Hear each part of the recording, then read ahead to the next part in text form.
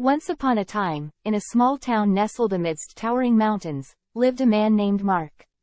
Mark was an adventurous soul who loved exploring the great outdoors. He had always dreamt of going on a solo camping trip, where he could immerse himself in nature and find solace in its serene beauty. One sunny morning, with his backpack slung over his shoulder and a map in hand, Mark set off on his much-anticipated solo camping adventure.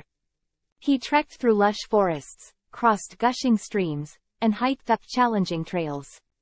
The solitude of the wilderness provided him with a sense of freedom and tranquility. As the sun began to set, Mark found the perfect spot to set up camp. He pitched his tent near a crystal-clear lake, surrounded by towering trees. The tranquil ambiance filled his heart with joy and contentment. He marveled at the breathtaking scenery, relishing in the peace that enveloped him. The following day, as Mark continued his journey deeper into the wilderness, he encountered unexpected difficulties. The terrain became treacherous, with steep cliffs and dense undergrowth obstructing his path. The weather took a turn for the worse, with heavy rain and gusty winds adding to his challenges. Mark found himself in a precarious situation. With no one to lend a helping hand, he realized the true magnitude of his solo adventure. Fear and doubt crept into his mind as he struggled to navigate the unforgiving wilderness. Just when he thought he couldn't go on, fate intervened.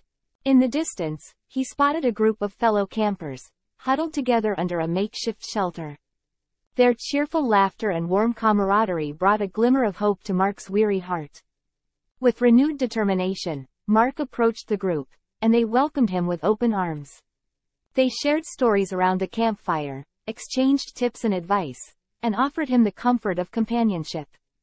Mark soon realized the true value of having others by his side during challenging times. Together, they faced the adversities of the wilderness as a united front. They supported each other through steep climbs, navigated through dense forests, and helped each other set up camp during the rain. Mark learned that in the face of difficulty, the strength of a group was far greater than any individual effort. As the days passed, Mark's solo camping trip transformed into an unforgettable adventure filled with newfound friendships and shared experiences. The group taught him valuable survival skills, while Mark shared his love for nature and the joys of solitude. When it was time to bid farewell, Mark felt a bittersweet pang in his heart.